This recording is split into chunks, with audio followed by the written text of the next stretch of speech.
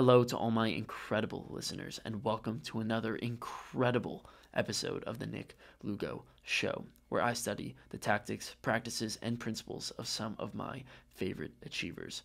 This episode is one that I believe will be one of my hidden gems, one of my favorite episodes, and one of the ones that I will recommend to people, well, throughout a very long period of time, because this man, Darrell Evans, is just absolutely fascinating. The wisdom that he was able to pack into one hour of a podcast episode was just incredible.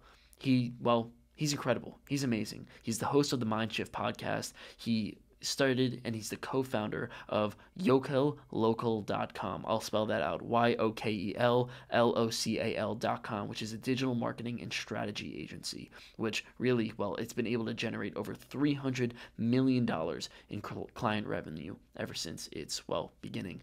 This man is a 30 year entrepreneur and he just has so much wisdom, so much knowledge. And we don't really talk about marketing that much. We don't really talk about sales. We just talk about how to live a great life, how to live with a quiet mind, and, and well, how to live a life that you enjoy.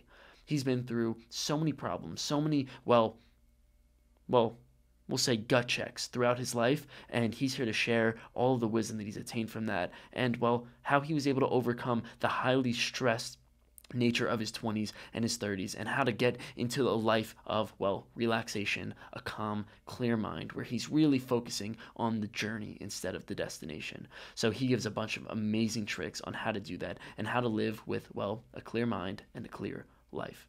So make sure to check out the sponsors in the description below. Make sure to subscribe to this channel and make sure to enjoy this episode with darrell evans don't say that. You're you're doing some stuff that listen. I've got a lot of perspective on twenty year olds. What do you mean? Well, you know how many twenty year olds I've been around? I'm 51. Yeah, yeah. I've got four kids older than you, one younger than you, and oh, wow. I've been around friends of mine who have kids your age. I've coached. I've talked at UNLV where I used to go to school. I, I've been around enough 20 year olds. I'm around enough 20 year olds. You're in the I, it doesn't matter how much money you make. That is not about money. It's about the action and energy and the heart centered energy that you're putting into this work. I read your bio because I don't just jump on shows. You know, I have to like think, am, why, why would, you know, what am I going to be able to add to this show? And I saw you were in college. I'm like, what's this guy doing? You know, and, and, but it was also intriguing because I was a college kid doing, trying to put a mark in my own thing too. Really? So, yeah. So I look, I said like, yeah, this guy's doing some stuff. First of all, you published a book. I mean, let's let's just call that what it is. Just look around the whole interwebs and figure out where a 20 year old has written a book. Yeah. There yeah. probably aren't a thousand of them. Yeah. There just mean, probably aren't. Yeah, thank you. I mean, it just uh, you know, it, I'm jealous really- actually. Shoot. I'm 51 and haven't published a book, and I probably have five in me. I just got to figure out what I'm gonna do. But um, no, you do, you're doing some cool stuff. I'm honored to be here. Truly. I, I, look around your bio. I check things out. You went to IU. Not that I have an attachment to IU other than my my fraternity. Um, and I'm thinking, what's a college? So I saw the email. I'm like, IU.edu. I'm being interviewed by a college kid. I'm like, this this is kind of cool. What is this guy doing? And and I'm like, so yeah. So I, I I'm I'm I'm honored I'm honored to be here and and Thank be on your you. platform because you're just doing some stuff that 20 year olds just don't do. You want to hear it's it's really really funny you know like all my friends and i it's, it's like i live in two different worlds like all my friends like friends like 20 year old colleagues and all that stuff they are like they're like who the hell see first of all what 20 year old is going to use the word colleagues? You're already you're already, see you see what i'm saying? Yeah. no 20 year old uses the word colleagues. Yeah. Come on man it's, it's true. Like I'm trying to classify them. I'm like, you know what? I got to use the big word. Got to do it. but that's the thing, you know. I um like all my friends are like, who's this weird kid? Like not following the path. Like you know, there are two narratives to it. It's like this kid's weird or this kid's special. You know, and um, right, right, right. And all my friends that I that I that I'm friends with, you know, and they're they're all like, oh, this weird kid, like who has a podcast and wrote a book, and you know, I do a bunch of other weird things. Like, of course, I I'm different than everyone else. So like I have a flip phone because I hate iPhones and it messes with my productivity. And I have a thousand different things that I do. But uh, but then yeah, like I I move into like this sphere of like podcasting and talking to people that are really highly successful like you.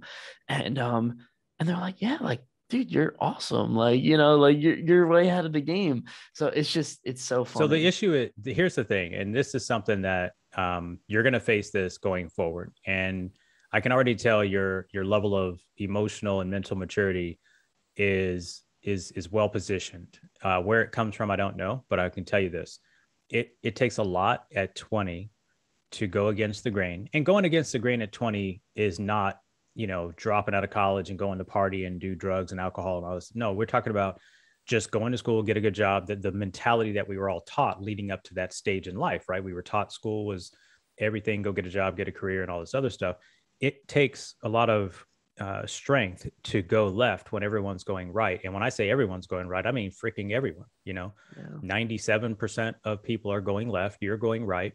You're doing things that are like they can't even put. What is a podcast? Like some of them are like, what is what is the purpose of this thing? Um, but if they read your bio, they'll just figure that out, right? You said you're a lifelong. You're going to become a lifelong learner. Something I believe in called CANI, constant and never-ending improvement. I learned it in my early twenties from Anthony Robbins, and you're saying i'm going to be a learner and then i'm going to share with you what i learned. Yeah. Like I mean, some people are like well why are you going to sh- why you want to learn so much? Why do you want to share it with everybody? That's how expansion happens right? And you're learning you've you've got something something's gotten that into your space and and i applaud you for it because it is going to be a differentiator and let's be clear about something else. Uh by the way, are we on the podcast? we're just yeah, talking, right? Yeah, we're just going. No. So listen, here's something that most people don't understand and they don't get the distinction. And there are four levels to creation of value in life. And value to a lot of people comes a lot of different ways, right? A lot of times people think, are, are you familiar with uh, Kiyosaki's work, Robert Kiyosaki's yeah. work? Rich Dad, Rich Dad, okay. Poor Dad. Yeah. Rich Dad, Poor Dad in the cash flow quadrant, right? So I'm talking a little bit from that. I'm talking a little bit from another mentor of mine. But so you think about the way we earn income. Let's just talk about income for a second. And that is A, we're an employee of a company and we are typically either doing something with our hands. In most cases, we're still doing something with our hands. Even if today we work in the digital world, we're at a computer. I've been at my computer for 20 something years now. Uh, there are other folks out there building houses who are using their hands. There are other people who are artists who are using their hands. There are other people who are architects who are using their hands. They're using their hands to get paid. Well, a lot of times people take the step that Robert likes to talk about, which is become an entrepreneur. They go from self, uh, they go from uh, employee to self-employed, and somehow they wear the badge that they're now a business owner. Well, and that that is actually not true. What you've done is simply move from someone paying you to do to you paying yourself to do, but you're still doing the doing. And the doing is still with your hands. If you're a doctor, you leave a medical practice where you were getting paid by a firm to be practicing medicine to now you own the firm. If you're a law firm, if you're a lawyer, you get out of college, you go work at a firm, you're an associate, you're doing the work of, of, of being an attorney underneath the umbrella of a firm. And then when you put up your own shingle, you're still doing law work as an attorney, but you own the practice. And I like to say you own a job. And that's what, unfortunately, 95% mm-hmm. of most entrepreneurs, they own a job. The very thing they left is what they actually now own. mm-hmm. Oh, that was think, a quote. That was a quote you had in your website, right? I'd ra- it was a entrepreneur quote. I'd rather work 80 hours a week just so I don't have to work for somebody for 40 hours a week. Yeah, and and people you rattle off. I see these quotes on the internet about entrepreneurship, and it's just. Can we cuss here? Yeah, it's yeah. just bullshit. Listen to what you're saying. You're telling me you'd rather work. I know everybody, anybody here who's who's seen these quotes. All you got to do is Google it, right? Just I'd rather work 80 hours a week for myself than 40 hours a week for a company or a boss or whatever. You are absolutely lying you know what you think is that you have the pride of ownership because at least you're not doing what the quote unquote company was telling you to do or your boss was telling you to do. By the way uh, i don't know the exact statistic but it's easy to find.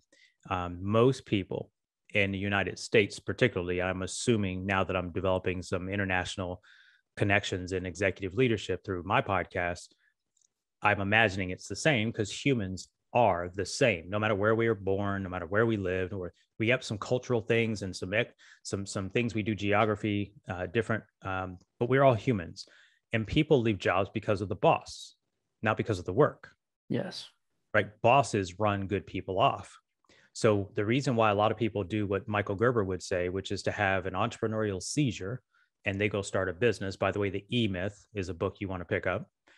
And that's what ends up becoming the reason why a lot of great professionals who are highly skilled, who are phenomenal at what they do with their hands, and we'll just keep the word hands being the the the, the analogy here. It doesn't mean they have to do it with their hands. Um, they get tired of being the best in their world, and the boss doesn't appreciate them. And as Gerber describes it, they they're like forget it. If tom doesn't appreciate me i'll go start my own thing. Because if i wasn't here tom wouldn't even be as successful as he is. That's the story that typically plays out and i've seen this now over the last 20 something years. Um here's the problem though. Now you get into quadrant two as kiyosaki would talk about and you own a job and you don't take vacations you because now you just don't get to do with your hands and earn the money. That's why the that's why the quote is is garbage. You don't want to work 80 hours a week otherwise you would have been working 80 hours a week before. The truth of the matter is when you work for the job you do as little as you have to do to get as much money as you can get from them and they pay you as little as they can to get you to do as much as they can get you to do. That's it's so a contradiction. funny. But then you go work for yourself and you're like, well, it's okay if I work 35 hours a week or, or I'm sorry, 80 hours a week. And then you end up owning a job. And here's what I've seen over the last couple of decades, especially the last 11 years, uh, coaching and working directly with companies on growth. Is I talk to entrepreneurs and here's what they tell me I built a business that I can't get away from. I don't have a team I can trust. I haven't taken a vacation in years. And if I did take a vacation, I had to take my laptop, my computer, my iPhone. I had to keep checking in with the team. Um, I can't keep employees uh, on teams. I can't get them to be productive. I can't make sales without me. The brand is all about me. And I, you know, I feel trapped. I can't, I mean, these are real conversations. These are real conversations with real people. And this is on top of financial concerns and, economic tidal waves and things of that nature. I mean, I'm, these this is the daily life of a lot of my clients when they come to work with us. And so we say, look, and most of them come to me for marketing and sales acceleration, right? They come to me for client acquisition, customer acquisition, revenue growth. And in many cases, we have to stop and unwrap their thinking as an entrepreneur so that we can understand that they are actually in the way. And the reason they're in the way is because they don't understand all of the other facets of the business they understand their technical expertise. And so we, we, we don't have to go down a rabbit hole here, but you know, the next level of the next level of value is when you build a business that runs without you, right? You, you know, Kiyosaki would say you have to have a company that's, or, you know, I think his definition is 500 employees or more. I disagree. I disagree. My companies, you know, most of the companies I help don't have 500 employees, right? If I own a business I don't have to have 500 employees for the business to run without me. And what does it mean, run without me? It means things won't break if you disappear. And I got this definition from a business coach of mine, I don't know, probably seven to 10 years ago. And he says, You know how you run a good business? You know how your business is running well? Is when you can be gone for two weeks and never check in with your office. And when you get back, there are no fires. Like that's just like measurement number one. There's a lot of three, four day weekend entrepreneurs where they can get away for three or four days, Thursday, Friday, Saturday, Sunday, and they're back in on Monday. They do that four or five times a year and they think those are vacations. Those are not vacations. Yeah, those are not, not vacations. They go away for a week and they check in once or twice, or they say, only call me team if it's an emergency, or the client only call me if it's an emergency. That's not a vacation. And I just drew the distinction, and this was over 10 years ago, that it, as, as I grew into this different level of understanding of a business, it doesn't have to be 500 employees. At the time when I started to accept this designation and think that it doesn't have to be 500 employees, because that also is the trap. Like, what kind of business do I have to build that has 500 employees? Well, that's why I don't agree with the definition. He's super smart, love his work. I'm just saying that so, entrepreneurs with smaller companies, you know, two, probably not two, but probably five to a hundred employees, this rule applies. And that is you need to build a business that where you can leave for the week. And by the way, I turn off my email. When I say turn it off, Nick, it leaves my phone. It's mm-hmm. deleted from my, the apps are deleted. I can't even check the email. Social goes off. First of all, I have no notifications on my phone for anything other Smart. than telephone calls. That means nobody can reach me unless I want to be reached. By the way, I'm not a billionaire, right? It's not because I'm so special. It's because I believe that entrepreneurs should have a business that serves their life, which means you have to start with designing the life you want first. It's irrespective yeah. of money, right? It's irrespective of money. You can design the life you want. Here's an example. I had a former business uh, over a decade ago. For I was I was in that company for 12 years. We had that business, and I was getting calls before hours, during hours, after hours. By the way, at that time, I'm coaching youth football, which was one of the best times of my life with my best friend. We were just had the time of our life for seven or eight years. And I'm at football practice with these kids, trying to be a beacon of not just a game that I love so much, but to teach them life skills at the same time because we were coaching kids and we had rules of what they had to have for their GPA and all this other stuff. And the funny thing wow. was, I was in a business in an industry where there was just a there was just a historical lack of boundaries in the profession. Meaning, if I want to call you now, you should answer the phone now, and I'll call you until you answer the phone. And then if you don't answer the phone, you know, we're going to have a problem, and our business relationship could come to an end because my, I'm important, right? And and I don't want to get into the dynamics of it, but the bottom line was after I did that for a number of years, I was really successful at it. But the problem was I'm like, I don't like this anymore. I could care less. The money was great. I could care less. Yeah. Because this isn't feeding my life. I got kids. I've got these kids on the football field. I've got my kids. I've got relationship. I've got time. And during that window of time, Nick, I only took one two week vacation. So this isn't me being on a pedestal saying I've always created it right. These were in my 30s. And I walked away from that business, sold it, in fact. And I was like, I don't ever want to do that again, ever. No one will ever call me after five o'clock unless I unless I initiate the call. No one's going to call me on the weekends unless I initiate the the call. I won't work on the weekends unless I decide to initiate the work, which I do. I can choose when I want to work. Um, I don't respond to email before 8 a.m. I don't respond to email ever when I'm out of town. I don't respond to email when I'm at a conference, which a lot of people do. They just run to their email on a break.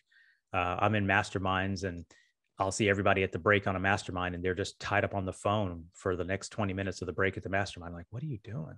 Like, your day is to work on you. The mastermind is to work on you and your business, not be in the business. You're supposed to be here to work on the business. Yeah. So we we just are working towards building the life first that we want with a, a clear picture. And then we reverse engineer how we get there. It doesn't mean you can just jump from you know a hellhole that you may be in now to unwrapping it but you can do subtle things and that's just part of what i call in what i teach which is the mind shift method which is shifting your thoughts about what you think is normal and what you think is is uh, mandatory in your life because you get to control every outcome i mean you're a perfect yeah. example of that well that's the perfect thing you know I like to think about this all the time. And, you know, first of all, I just let you go because I thought that was incredible. But um, but I like to think about this all the time as sort of pizza slices, right? And I like to imagine my life as as 100% of a pie. And mm-hmm. one of the things that I've noticed in amongst friends, amongst the people who are really the grinders, you know, mm. um, their life is their work, right? It's the whole work to live or live to work type of thing. And the thing that I realize is their life is their work, but not because they are, and this might be true for some people, completely dedicated to that work. Like they absolutely love the work and they want to work, like they willingly work 100 hours a week, something like an Elon Musk. But in reality, they've just spent so much time trying to build up that work, trying to build up that one piece of the pie. And you imagine there are multiple different pieces, like relationships and, and all mm-hmm. of those different things, that at the end of the day, that's the only thing they have left the only thing that gives them any sort of you know joy the only part of their life that actually gives them some sort of you know sustenance is their work and that's why oh i'm sorry about that and that's why they're going to give you some call at you know at seven o'clock eight midnight. o'clock at night exactly because they have and they know your sleep exactly they, they know they, your sleep because they start the voicemail with uh hey i i know you're asleep right now but i wanted to i was up you know i needed to get this out you know that's what they say Nice. Why did you bother? Like, wait till eight o'clock when you know I'm at the office. yeah, yeah, right. But that's the thing. That's their life, right? So it's 10 o'clock at night, and they're like, all right, I have nothing yeah. left to do. I have no other pieces of the pie to do. So yeah. I guess the question is, how do you build it, right? So what what are the other yeah. how do you how do you manage people call it work life balance but i like to yep. see it as something more of just like how do you juggle all of these different priorities yep. in such a such a way yeah, so it's great question, a great uh, preface, and I I started. I used to try to have work life balance. I used now I call it work life integration, and I've been mm. calling it that now for like the last ten years, because the reality is when you're an entrepreneur, it never goes off. Yeah. There's never not a vision that is yet to be fulfilled. There's never not a project to be worked on. There's never not a goal. You never. I've learned this as I've gotten again. This last decade's been a real work in mental a shift in my mental perspective, not against what I've always believed, but in shifting subtle beliefs about what I always thought was true. So, work life balance, uh, I have just decided that for me, it's work life integration. And mm-hmm. what do I mean by that? What I mean is, is the business, and by the way, the answer to your question is time blocking. It's 100% the way I do it. It's time blocking. That means that when I schedule something, when I commit to doing something, it goes on my calendar or I don't do it. So mm-hmm. that means I make decisions in a way that are either hell yes or no. It's not maybe, it's not in between, it's not let me think about it. It's hell yes or no. And the minute it's a yes, it goes on the calendar. When I accepted the invite to be on your show, it goes on the calendar. It's not, I don't let anything get in the way. You know, I, I had a situation yesterday where someone uh, wanted to speak with my my me about uh, my company helping their company grow, and they missed the meeting. They just missed the meeting. Now, I don't think the entrepreneur intended any harm by it. Yeah. unfortunately, missing the meeting now puts him out three weeks from getting back on my calendar because I don't run a business where I have all of this white space because I'm very intentional, which means this morning before our interview, my calendar had my workout on it. I had just finished my workout before taking a shower, getting my my protein, my my uh, my nutrition shake to then sit down and have a conversation with you. So what I don't do is I don't punt what's on my calendar to make up for someone else's uh, call it lack of commitment. yeah. So I use the calendar, Nick, and and and this is my personal life. What goes on my calendar? Um, my personal time in the morning, meditation, prayer, fitness, stretching, reading, uh, podcasting, whether I'm hosting my show or on shows like yours, uh, which again, I'm super honored to be here, dude. You, are amazing dude. Um, office meetings, business meetings, travel meetings, whatever those that they go on the calendar. If I'm going to see my grandkids in Texas, calendar. If I'm going, if I'm cooking dinner, by the way, I'm the cook in my house. I cook three times a week, and and then uh, wow. other times I'm the cook. So that means no meetings after three o'clock ever, any day of the week, period. Period. I don't care what wow. time zone you're on. We figure it out, right? Um, everything goes on the calendar. So to me, it's people not having a calendar that they stick to.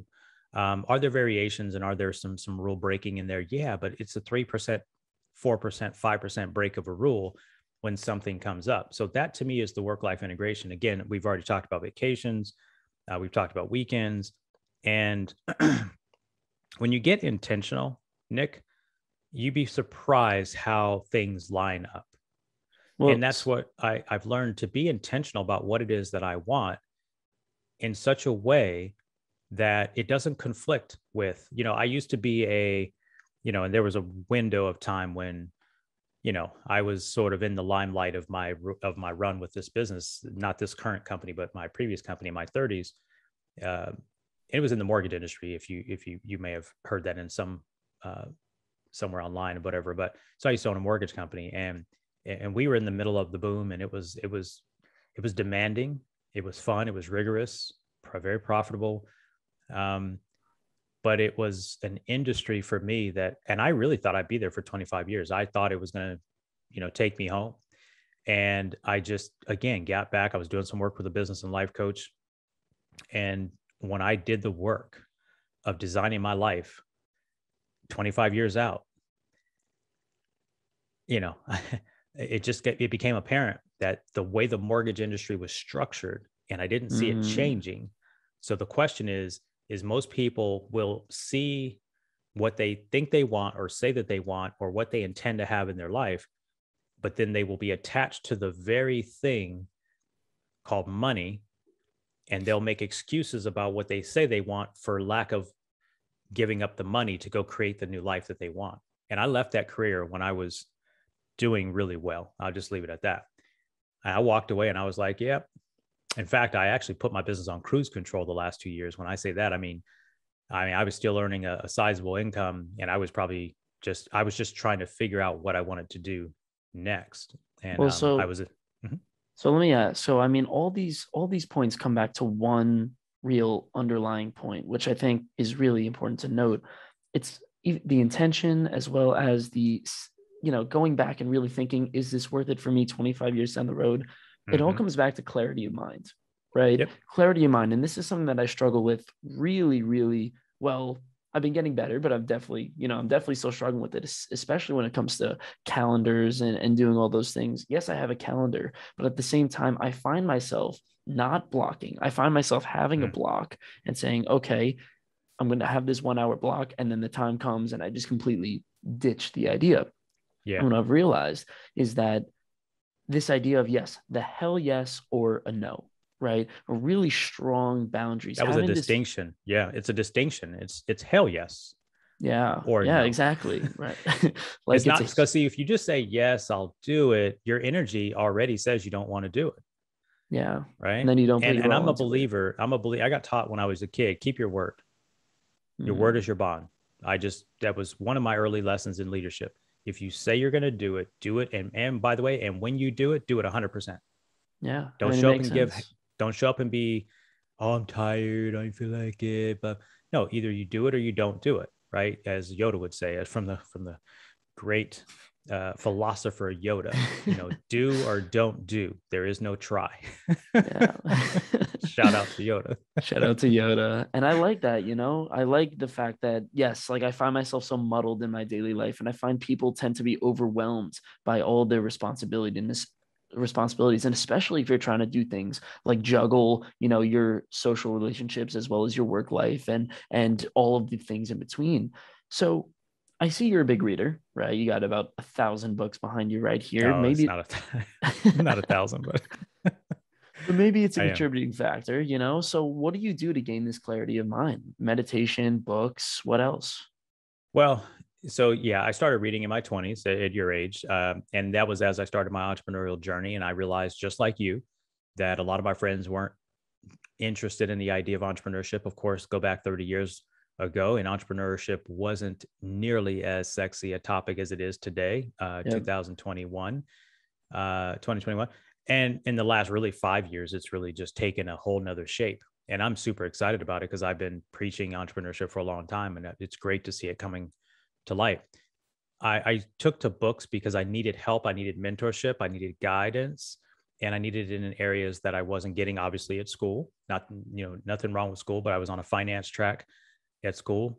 Um, and so that became the reason for the books and, and a philosophy I learned in my early 20s uh, called constant and never ending improvement, which is actually uh, the, the original word is Kaizen, uh, which was adopted by the Toyota, Toyota Motor Company um, if you're interested in that, read "Awaken the Giant Within" by Tony Robbins. Incredible yeah, book. So is that changed my life when I was 16 years old. Really so did. Second, second book I read actually. Second book on personal development that I read. So the first one was Unlimited Power. Second one was Awaken the Giant Within. It's wow. sitting right behind me, behind some of these other ones.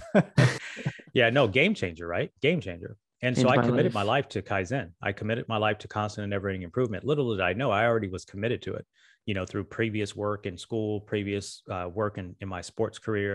uh, which I knew I wasn't going to go play pro sports after I got out of high school. But the work that it took me as an undersized linebacker, I mean, so we, you know, I already had it ingrained in me, and then it's mm-hmm. become my life mission and motto and how I operate. And well, so, and I distance myself from people that can't do it or don't do it. Well, that's the thing, you know, I've noticed, especially as I'm, I've embarked on something like an entrepreneurship journey, you know, when I the more I immerse myself in this idea of, you know, growth and yes, like working super hard and getting stuff done and really getting above the other entrepreneurs that are out there, I also realize that throughout that time, I throw away some of the some of the foundational cores you know and you know reading sometimes sleeping right? Sometimes you know you, you list all the things health all these right. and relationships too and i end up throwing those pieces of the pie outwards and i thought it was really interesting you know when we got on this call you said that um you said that you like to take 30 minute breaks between meetings right and I you do. like and you like to really you know space out your meetings and what I've noticed is that throughout every single thing that you do, it's all about clarity of mind. It's all about yeah. keeping yourself grounded and not getting lost in this what I like to call the rat race, right? Like yes. the entrepreneurs, if I'm working 90 hours a week, I'm stuck in the rat race. I'm just doing, I'm not thinking, I'm not evaluating. I'm just, I'm just working with my hands essentially. So what practices do you um do you use to keep clarity of mind and at the same mm-hmm. time what it, like what taught you clarity of mind in this way what books burnout what... burnout experience Nick, burnout uh, listen, I'm I'm no listen. I get to talk to you on the other side of the problem. yeah, burnout, man. Listen, I disrespected sleep in my 30s. I disrespected not. I didn't disrespect my relationships because there was there was a dynamic in my relationship world that that made it top of mind. So I did. I won't say I did that. I didn't damage that. Um, but I will tell you that I was all in on entrepreneurship and I was all in on what I perceived to be success as an entrepreneur. And what I realized is that you can chase uh, down a rabbit hole, whatever the rabbit hole is in your life. It doesn't have to be entrepreneurship because this is a problem. We can become obsessed. And I love the word obsessed. Some of my favorite athletes, we watch them go to the Hall of Fame. They had to be obsessed to get there. Yes. Um, you talk about Elon early in our talk. Obsessed. Uh, Jobs, Steve Jobs, obsessed. That word is a very uh, real word.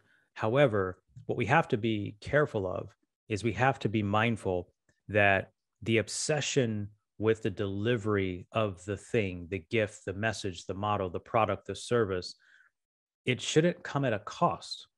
And I think at some point you will realize, and your body tells you, by the way, when you're out of balance. And so yeah. you talk about how do I get clarity? Well, I started getting clarity when I started really paying attention to my energy.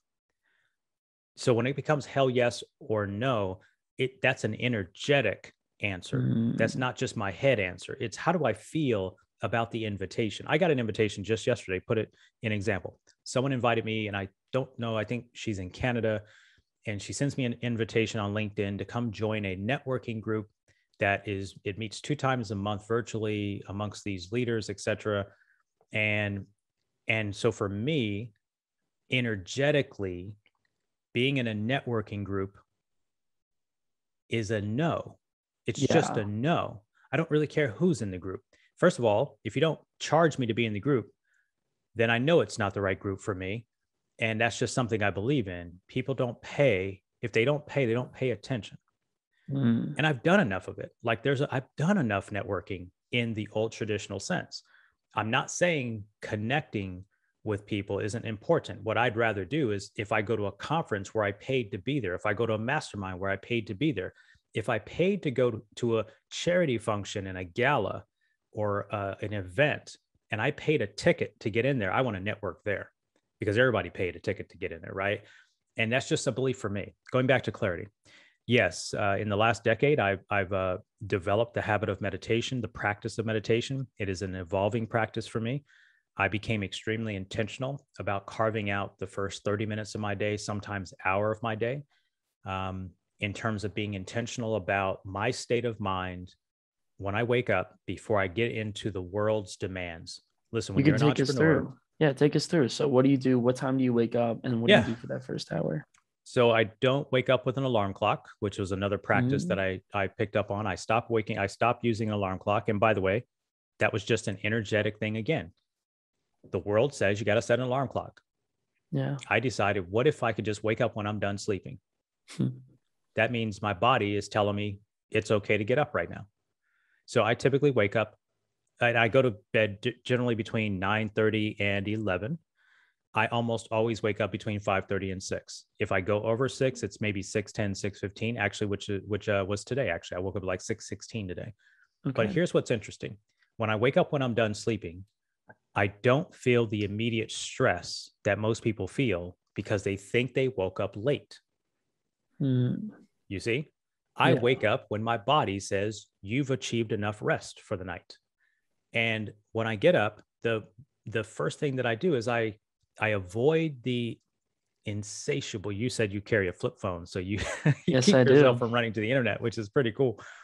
Um, but my meditation app is obviously on my phone. So how do I avoid getting sucked into email? Well, I have no notifications on my phone, Nick. None. That's incredible. None. My daughter, my 17 year old daughter, high school senior, youngest in the family, she knows and she's a text message you know she's a texter you know because that's what the kids do at that age they just text text text text text i say if you need me you better pick up the phone and call you better dial the number hmm. because i will get the ring on my phone but these phones these smartwatches they'll allow you to get notified just as bad as a telephone i yeah. mean just as bad as a smartphone so basically i bracket off notifications i immediately go and drink two uh, 16 ounces of water that's the first thing i do every single day, and I've done it for a decade, if not a little bit more. Why do I do that? Well, we've been asleep for six to eight hours, and our body is actually dehydrated. So I okay. I rehydrate quickly, and I do that with a just a lukewarm room temperature bottle of water, and I get that down before I go get coffee or anything else. The next exercise is I put on my headphones, the same ones I'm wearing here, and I like these because it shelters out over the earbuds. I can shelter out all the noise, and I put on a a meditation track. It some days it'll be a guided meditation, other days it'll be a musical meditation where I'm just listening to spring water, river water. I'm a big fan of the ocean. I love uh, harmonic sounds. I just you just you just Google this stuff. It's on YouTube. It's on Spotify. They're all free, and I just let my mind be, and then I pull out my stretch mat and I I do I take my body through some stretches um, and I just let my body tell me what I need to stretch that day. Uh, maybe yesterday I had a, and I did, I had a tough leg workout. And this morning my legs were really achy. So I, I stretched legs this morning. Some days okay. I'll sleep a little weird and my back's bothering me. So I just go through a stretch routine for like 10, 15, 20 minutes. Um, and, and I just, and then sometimes I just sit. Some days I don't stretch because maybe I don't feel like I need it. And I'll just sit, Nick, for, for 15 or 20 minutes, never usually more than 20 minutes and I just close my eyes and just sit. I don't get caught up in all the mantras. I, I I've done it all. I've done all the mantras and I just sometimes just sit and listen to the sounds. Sometimes I just sit. But the biggest thing I'm trying to do is to quiet my mind. I'm trying to keep whatever the day's priorities out of my thinking pattern. If that comes up, I just try to let that come and go. I just try to let that just come and pass. I don't try to stop the thought. I just don't try to engage with the thought I just let that pass what does it do? Uh, if you're a high performer, if you're an achiever, if you're called on from people to produce, if you're a leader, inevitably, uh, there are demands waiting on you in your inbox. There are demands waiting for you in your inbox, whether that inbox is on social media, where it's on, whether it's on email, whether it's on text, whether it's on voicemail. There are more inboxes and ways for people to put their agenda into your life. And so I just push people's agenda away as long as I possibly can. And typically that's until 7 30 or 8 o'clock in the morning. And what I do is go to the gym after that. And what I do, Nick, is uh, in my 20 minute warm up at the gym is when I open my email and check my email. Okay. So I'm actually not wasting time sitting in front of the computer getting sucked into email. I'm actually exercising and getting my body warmed up while I'm looking at and responding to email. And I'll stop it kind of here, but here's the here's the hack. Okay. I don't open all my emails.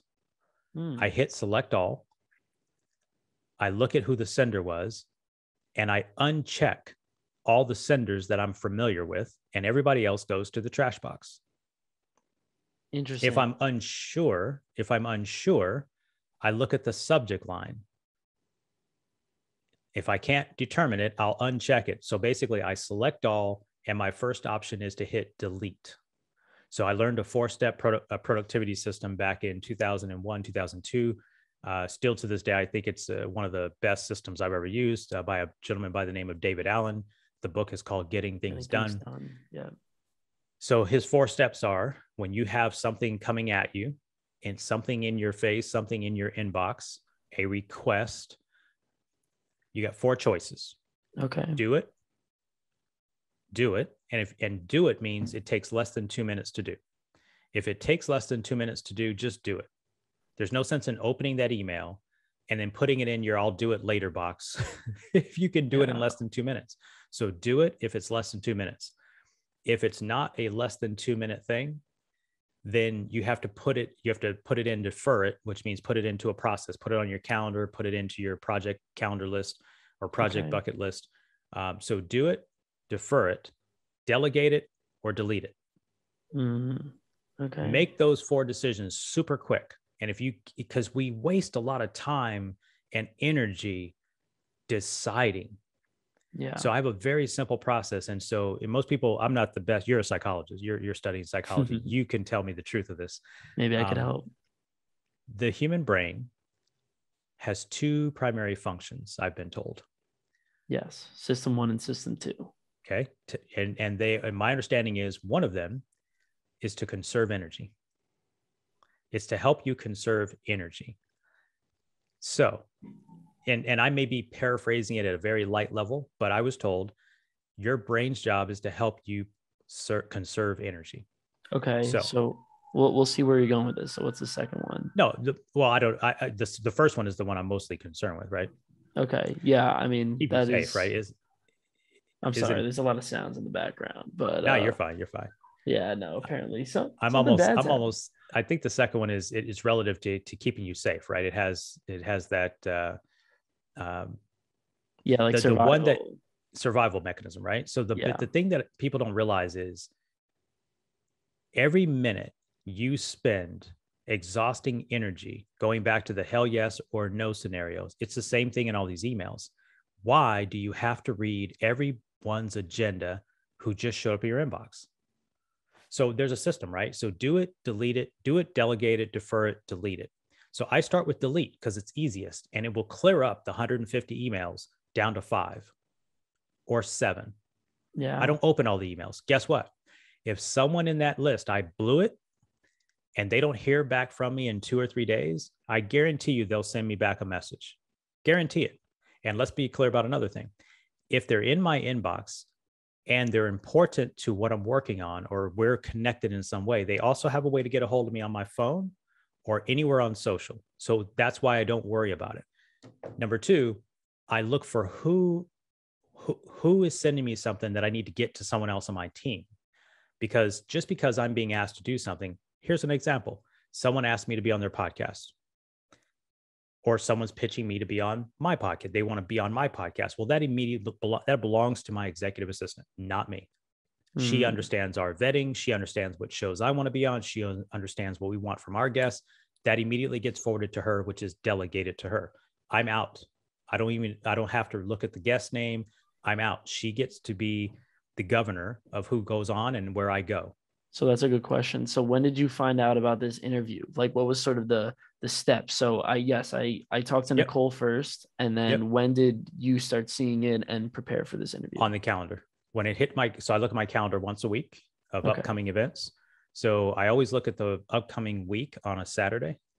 Okay. And that's when I start researching, especially if I it's a it's an opportunity like you and I meeting for the first time in this channel, then I in I I research you. So I take time to research you, your your content, your show structure, what you're trying to produce in the world because I don't want to show up out of alignment. At mm-hmm. least my mm. intention is so I think a lot of podcast guests they come on shows and they get caught up in who they are and i'm trying to be caught up in who you are right? I'm trying to be caught up in what are you trying to produce and can i accent that in some way? Can i be of value to you and your audience? I don't care. I'm not on a podcast tour because i've got books and i want my book to go to the bestseller list or whatever. I'm trying to add value because of my experience and my walk in life and if i can share that back to you and your audience then that's my intention. So i looked at your show i looked at you i looked at your your work, your book that you wrote. I looked at your blog. I, I, I looked at what you're doing your blog for and the podcast for. And then I realized this kid's still in college. and I was just blown away. I'm just like, for crying out loud, you know. And I didn't have to go back to my assistant and say, I didn't have to go back to, to Nicole and say, Nicole, why did you book me on this college kids show? That that that's just not how we operate, right? She understands who I want to be and how I want to serve. And she saw that as well because she checked you out. Interesting. Okay. Yeah. So, I mean, one of the things that I've noticed from you is that, first of all, you're exceptional, right? You're exceptional. Like most of the podcast guests that I have on here don't do any of that. They're just like, okay, you know what? I have a podcast in 30 minutes. I guess I'm just going to go into it. And that's the end of it, you know? But yeah, like, you know, first of all, you take the time, you're very organized, right? Everything's perfectly organized and uh, perfect. Now, don't, don't yeah. perfect. it's habitual. It's actually habitual. Let, let's actually talk about that, right? It's when, you know, when we, when did you learn how to ride a bike? Uh, God, that's embarrassing. 15 yeah, years you were, old. Okay, you're 15, but you learned old, how to tie yeah. your shoes sooner than that. Yeah. Yeah, of course. Yeah. Do you have to think about tying your shoe anymore? No. Yeah. No. There's so many things you don't know. You don't have to think about tying your shoes anymore. There's a lot of things you do today that are uh, you're unconsciously competent at. Right. There's four levels of this level of consciousness and learning. You know, uh, unconsciously incompetent. I don't know what I don't know. Consci- yep. in, uh, consciously incompetent. I know that I don't know consciously competent, I know that I know, but I have to work on making sure I execute it right. And unconsciously competent means you just do it because it's a habit, like driving a car, like riding a bike. I haven't been on roller skates in 35 years. I passed a roller skating rink the other day after going to a, a jazz event. And I looked at the roller skating rink. I'm like, man, I haven't been to that roller skating rink since I was probably 22 or 25. I guarantee if I got invited to a party, I would know how to roller skate. What do I mean by that? Because so I'm habitual now it's not a matter of um, it's not i don't have to practice the habit of being intentionally interested in you because i've been in the world of sales for 30 years and i've realized that the only way that i build trust and rapport in order to earn a sale in whatever product or service or business i'm in is i have to be interested in solving the problem that my prospect has Mm. I can't just sell my product because of its features and its benefits.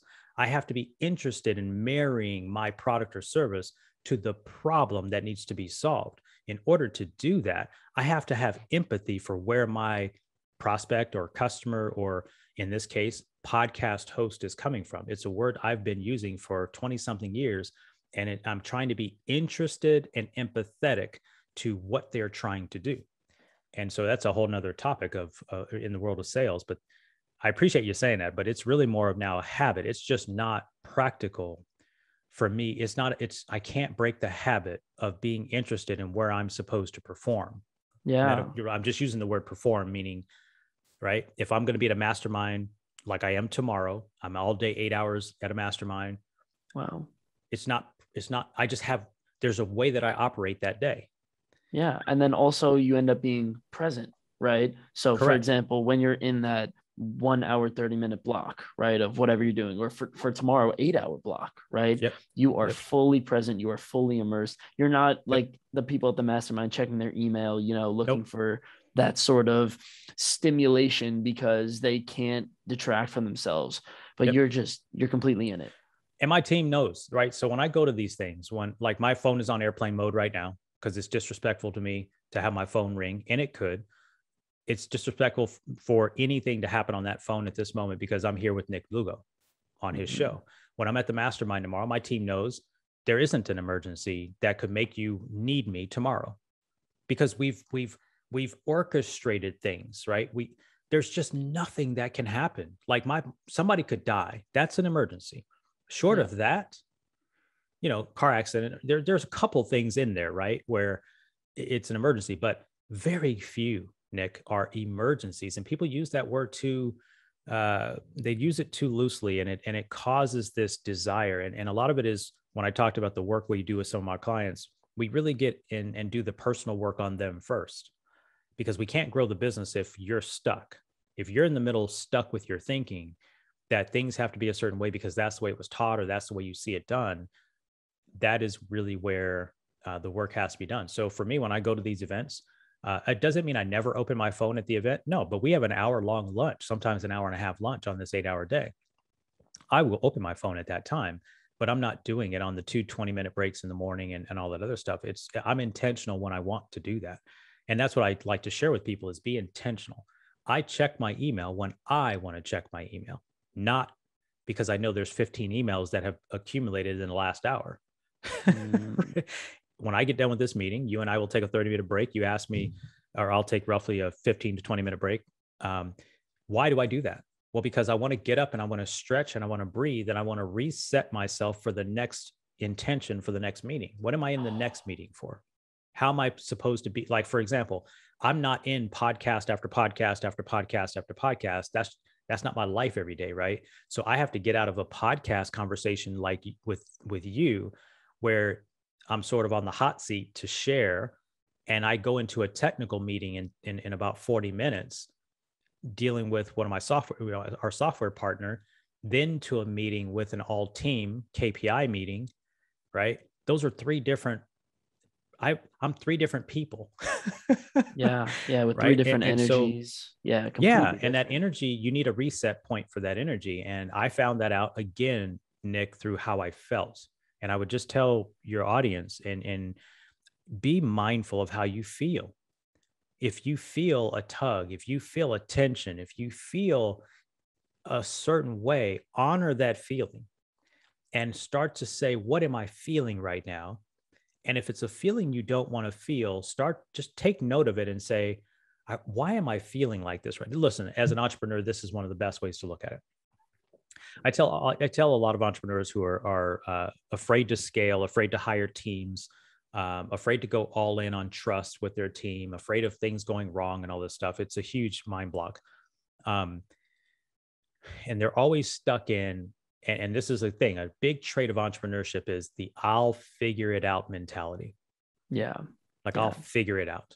Like i believe in me i will figure it out. The problem with i is you will drive yourself crazy trying to figure out things that are not a part of your definite natural ability mm. right so some people say double down on your weaknesses i say double down on your strengths and find people who are whose weaknesses are their strength sorry, where your weaknesses are their strength. So I believe when I hire people and when I move away from jobs as an entrepreneur, as an entrepreneur, as I grew my businesses, I had to learn to that there was somebody else far more gifted. And this is the first time it happened. And, and this is a simple example. But early in the mortgage days, and if anyone's ever been through a mortgage loan, you're probably you probably don't have this experience yet. Uh, uh, maybe matter of fact, you may have. Maybe you've been through a mortgage loan, but there's a ton of paperwork and it's annoying paperwork. It's yeah. on everybody's nerves. It's on the loan officer's nerves. It's on the company's nerves. It's the customer's nerves. It's far too much paperwork. The problem is, as an originator of the loan, the person who sells the loan to the customer, you know, typically if you don't have a team, you're you're selling, but then you're processing. And let's just kind of keep it super simple. You're selling and then you're processing. Well, those are two different skill sets. It's almost like the creative brain and the logical brain and you have to be both in in in the world well the problem is the person who's a creator a creator is typically less structured and logical to finish the processing side of it if that yeah, makes any sense. and they don't want to deal with it. And they don't want to deal with it. Yeah. so the problem is when i go back to this how do you feel? I recognized that i loved loved loved working with people loved solving problems loved showing people pathways loved to use a word you used earlier it's a, it's actually in my life plan. I loved creating clarity on the solution. That's yeah. what I live for. It's the easiest thing for me to do. It's hard for some people. It's easy for me. It's just how I'm wired. The logical, structured, procedural, step by step, copy all the paperwork 14 times, package it up, and send it to 14 lenders, the fax machine, and all that stuff that had to happen, it hurt my head. I could do it, but it hurt my head. So and I realized it drains your energy. Yeah. It drains your energy. So I realized I need to find somebody else who loves that stuff. And wow. I remember when I landed the right person, her name was Nicole, and we just crushed it. Right. Because you can operate in your gift um, far better than you can struggle, right, to learn something. There's someone else on this planet. And today, in a global economy, with the way we can work virtually now, eh, there's someone on this planet who can operate in that operational efficiency world and give you back your freedom if that is your world. Now, there are some people, uh, I'd like doctors, for example. Doctors are skilled. They can't outsource being a medical doctor if they're a, a specialist, a specialist. But, so what we have to do then is build a team around them so they can just do what they do best. You know, I think about a LASIK surgeon that we worked with, and I mean, this guy was it was like it was like magic the way he would fix people's eyes. It was like mm-hmm. magic, like truly being in the like in a miracle room with this guy. I mean, just magical.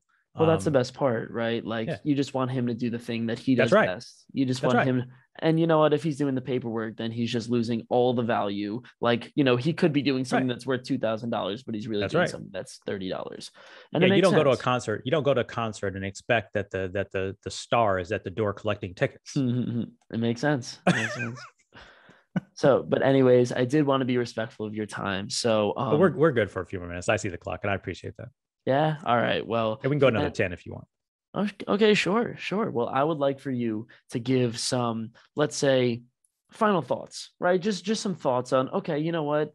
What do you think that people should really, especially college kids, should really focus on cultivating in their lives? And what do you think they really, you know, a problem that they experience and something that they could do to really, really start helping it, or a lifestyle shift, or a mind shift, as uh, you guys should follow this podcast, the Mind Shift podcast. Yeah. Um, yeah. What mind shift should they take?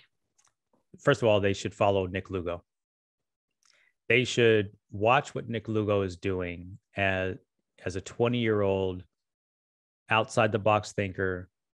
It's not about follow Nick Lugo because you want to start a podcast or you want to write a book or you want to become the person who learns everything from you know seemingly successful people and then pass that on. It doesn't mean you have to do what Nick Lugo is doing.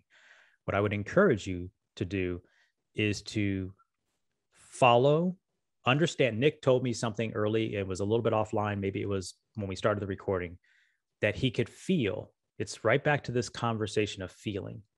Nick said you said to me nick you were feeling like this the school thing was good and it is good and, and you, you you value it but you were feeling a certain kind of way that you needed to do and follow this this passion this idea. Yeah and i think that's the first uh, piece of advice i would give if you're a college student listening to this is start to assess how you feel and what you feel is important to you that is calling you, pulling you, nudging you. Don't ignore those feelings. I ignored my entrepreneurial feelings. I started my first business at 20, yes, but I was also still in school and had a job. So I had the blanket and the comfort zone. And I tell people all the time that if you're going to succeed, you got to go all in, right? You got to go all in. You can't just stick your toe in the water. Now, I'm not saying drop out of school and all that stuff. What I'm saying is don't ignore the feelings. So that's probably the first piece of practical advice. And it's it's a subtle understanding. If you if you feel like, you know, if you feel like my son, you know, uh, my younger son, uh, decided to drop out of school, and some parents would lose their mind because oh, we yeah. grew up in a school family and all this stuff. They'd lose their mind. And I asked him, so what do you think you want to do? And he ended up getting a job in the world of sales. Uh, I, didn't influence that. He he found his way into the world of fitness, which fitness was a, a passion of his, and he became the number one salesperson at this fitness club from the second month he was there until 21 months later, wow. 23, 21, 22, 23 months later. And here is the piece, Nick. I'm, by the way, it's not shout out to Jordan, by the way, if he happens to be listening. He's 23, by the way. So he's not much older than than what you are. Yeah, I'm 20. And here's what I noticed about that journey. He didn't go do sales because he was going to kill it financially. He did it because it felt good. He did it because he loved the industry. He loves fitness. He loves the idea of being in the fitness world. And when I talked to him week in, week out, uh, he's in Texas, I'm in Las Vegas, I could hear the ease in his voice. Mm. It wasn't stressful. I mean, there were times when it was stressful, but the ease of talking to customers, the ease of helping people make the change. He never hard sold anyone. You could hear the ease in his in his behavior and his being. And so I that's why I keep going back to the feeling. I didn't have that at 20. I was nervous. I didn't believe in myself. And I told you this earlier. I would have believed in myself a little sooner that I could follow the entrepreneurship path. It took me nine more years to finally make the 100% uh, switch. Well, that's the that's thing, probably, you know. Yeah. I notice that all the time. Like, you know, I'm I'm in a business school where pretty much everybody there is doing the things that they, you know, that their parents want them to do, the thing that's going to make them the most money. It's it's the place where I say it loosely, where souls go to die. You know, like mm. it is, and, and that's that's what it is. And um, the problem with that is that I speak to people and mostly finance majors, accounting majors, and I ask them, no money, what would you do? right? No, right. if money wasn't a factor, what would you do? And the thing is, they have an answer. Yes. Like they actually know and they actually they feel these things and they actually acknowledge these feelings. But you know, there's a there's a block there obviously you know may, yeah. maybe it's not the most logistical thing maybe it's not you know and and there's millions of excuses that you could possibly come up with some of them valid some of them not and um and well, that's the thing, right? So, one of the greatest quotes that I've ever heard was find your passion and learn how to make money with it. And I completely agree. Yeah. I think it's easier today, Nick, than it was if I just jump back 30 years, not to timestamp this, but there's no excuse today um, to not do what it is you want to do. You can find a way to do it. If you're an artist, be an artist and you can monetize your art. If it doesn't matter, we could go down the line. I think the, the the challenge, and this is if I could speak to mind shift for a little bit. These are the things that I had to fight my way through, and, and over years realized that I'd actually sort of built a process and a mechanism to mentally make these changes. And that is number one, look at what the facts are that you're you're looking at. Like, so I want to do this, but here are the facts. We're not trying to say the facts aren't relevant. The facts are facts, but that the facts are no longer a condition of our future, though. See, so the facts may be something that happened in our past. I love what uh, Eckhart Tolle talks about in the power of now, which is, you know, our past is no is just it is what it is, but our now is today, and our now is a, a minute from now, and our now is the next minute from now, and the next week from now. So we can create our future in any new now moment that we want, right? So mm. we we we like to look backwards. And by the way, another fun fact that I found out through the world of psychology study, and I don't know where it finds it, but he says the further away you get from the actual facts of the event, whatever the event is, the more false your recollection of it is. Yes. If I started telling a story about some trauma that happened to me in my 20s, I'm probably going to mess up the facts because it's so far removed and my brain is now reaching to fill in holes because I've let that fact go. But, you know, to so bottom line is whatever the facts are and whatever your situation is, the step number two in the Mindshift method is to make a new decision about what you want to do from here going forward. Right? What is the new decision? What is the new distinction? Speaking of Anthony Robbins, you brought up the uh, Awaken the Giant Within. I, yeah. I, don't know if it was an unlimited power or awaken the giant within, but I remember this quote and it has stuck with me forever. It's in the moment of your decision that your destiny is shaped. Oh, yep. That's awaken your giant within. In the moment of your decision, your destiny is shaped and that is an ownership quote to me. It's a leadership quote. It's not it's not it's like hey when did i make the decision to do the thing? Maybe the end result of winning or losing is 5 years later 10 years later but the originating decision was that was here. And so the question is is what new decision or distinction will you make today? And then the next step is what kind of what plan do i need to enact? What plan do i need to put in place to make that interesting you know like the fact that right now if you look into your future, there are 10, 20, 30, 40, 5 million different paths that you could sure. go. And, you know, like I, it took me, it took me a lot of quieting of mind to figure this out, but to some degree, I could actually see the paths. Like, okay, you know what, if I, you know, take a step in this direction towards school, then I'm going to go in this direction. Or if I take a step in this direction towards podcasting, then I'm going to go in this direction. And the futures look completely different and it's just it's crazy you know like we don't really have that perspective. We kind of pick a pick a path and lock into it. But when you have that perspective yes and that is the power of now. That is the the power of let's say consciousness. To be able to look and see those multiple paths it is it it changed the way i view the world because now i see okay maybe the world's a little bit more malleable than i could expect. Right. Here's here's nick to add on to that. That was a great a great distinction. Unfortunately a lot of people can see the path and then they won't decide. They won't decide to take one because they think all the paths have the same outcomes. I tell people a lot, a lot of times that most of the time you're stuck because you just aren't in the game. Mm. The best mm. thing you can do to succeed in anything you do in life is to get in the game take small measurable steps, measure your progress and take the next step, and then measure your progress and take the next step. It's the evolution of business growth. It's the evolution of weight loss. It's the evolution of learning. It's the evolution of any skill that you develop in life, any outcome.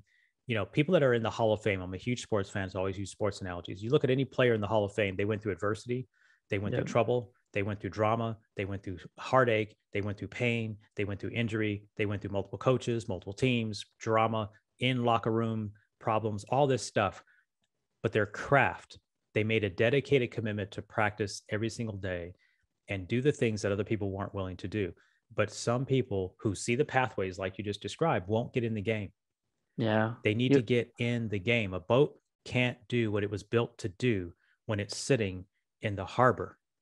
you want to hear a great analogy that I heard, and then we'll and then we'll end it. It was uh, by Penny Zenker. She was on this podcast, and she. You ever heard of the hot and cold game that you play when you're a kid, right? Like you close your eyes and you say, "Oh, you're go, you're getting warmer, you're getting warmer," or "Oh, yeah, you're getting yeah, colder yeah. and colder," right? You yeah, know, yeah. very, very childish game. Yeah. Imagine what is the only way that you can fail in that game if you don't Oh. move, Gotcha. Right.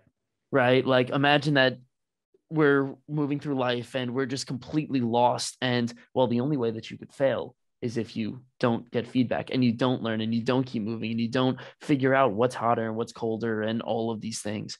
And um and yeah, yeah, you're right. People just don't make that decision. So Yeah, and they're I think they're afraid of failure, which is the biggest thing. And we'll just, we just finish it off with this. Um, what I've learned in my life, anytime where I was stuck and I was afraid to afraid of an outcome, afraid of failure, because that's really what stops most of us. And I've learned just now after all these years, um, provided we get to a level of conscious competence, right? If we can get past, if, we can get to conscious competence, failure is rarely final. It's rarely, if ever, final, and it is rarely, if ever, fatal. And if hmm, we could just accept that that is the truth, um, then we can be okay in the feedback loop, right? Because that's all learning is it's feedback, right? And that feedback makes you a better person. I played sports. And so the sports analogy is we practice Monday through Wednesday or Tuesday through Thursday. We played a game on Friday or Saturday, and we watched the film the day after the game or two days after the game before we started the practice routine again. And in the in the film, we would see what we did right, we would see what we did wrong.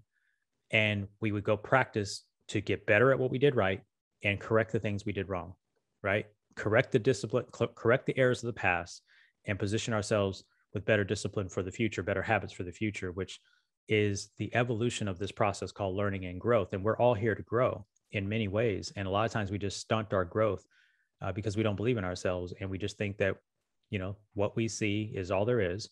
And I think what we've talked about today, and, and I appreciate you, Nick, uh, before we part. Uh, I said this before we started the recording or, or in our email or right when we, I appreciate what you're doing. I appreciate the platform you're building. I appreciate the way that you've adjusted your, your mental capacity and strength is advanced. It's beyond your years. You're going to build a huge platform. You're going to be wildly successful. And I believe you're going to lead a lot of folks in your generation. You use the word colleagues when we were talking earlier. I'm like, what 20 year old uses the word colleagues? Like for crying out loud. Um, you've got a 3.9 GPA. You are you are hitting it on all cylinders. I will just keep saying, I'll say what I said before. People listening to the show should follow Nick Lugo. This kid is impressive. He's doing big things. He's got a heart of abundance. Uh, he's got a heart of service. And it's been an absolute pleasure sharing some time with you, my man. Thank you. Thank you. And everybody, make sure to check out the Mind Shift podcast because this man, as you could tell, is I could, I could be beyond my years, but you are well beyond my years. And um Well, literally, because I'm 51. yeah, literally. I am. oh my god. And I am I have like 15 different nuggets of wisdom that I am going to take from this. So thank you so much. And uh, God, this was incredible. Thank you. It absolutely was. And I, I equally say the same. And I was honored to, when I saw the invitation and I checked out your background, um, just again, thank you for, for creating a platform, allowing me to be here. Thank you for listening to this episode of the Nick Lugo Show with Darrell Evans. To support this podcast, please make sure to give me a five star review on Apple Podcasts or to subscribe to my YouTube channel. These things help more than you know. And finally, to close off this episode, I will give you a, a quote from the famous American columnist Marilyn Vos Savant. Being defeated is often a temporary condition. Giving up is what makes it permanent. Go out there and kill it, guys. And thank you for watching this episode.